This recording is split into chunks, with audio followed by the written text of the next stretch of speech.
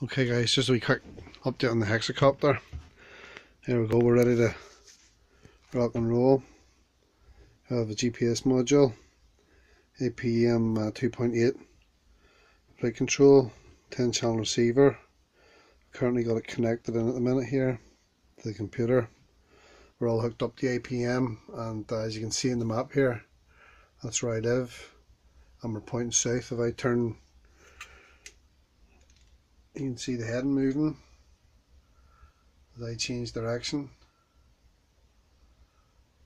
See that sitting south. Obviously disarmed. I select on the control the different modes here. We'll see it change. Circle, position hold, land, return to launch uh, altitude hold and back to stabilize. So we're all ready to go here. So I was leaning over there and you can see it picking up less satellites as I was leaning over the, the GPS module. That's why it come up. So so far so good. Ready to rock and roll. I'm going to connect the battery here and try and arm it and see what happens. So just give us a tick here. The battery connectors we're on with the ES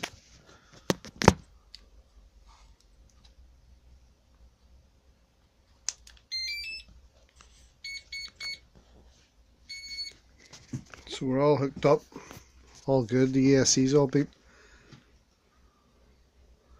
Navigation lights there underneath it. Only trouble is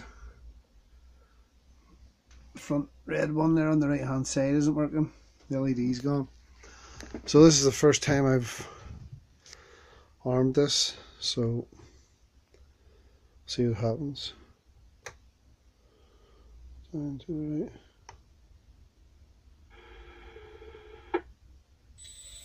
Oh, the props would begin to spin. I'll have to change that in mission planner. I'll have to change that, but so far so good. We're up and running. I'll disarm itself because it never took off.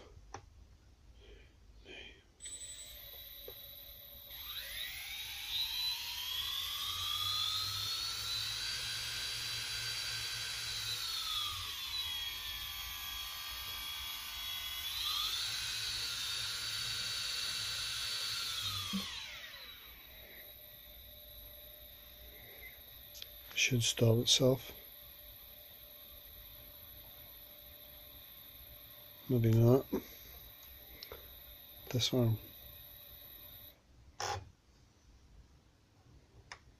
There, success. So we're all hooked up, all programmed, ready to rock and roll. Get the props on. That'll be the next thing. As soon as I get the props on, that'll be her. Well, still a lot more work to do to it, but anyway, that'll be it fine. bem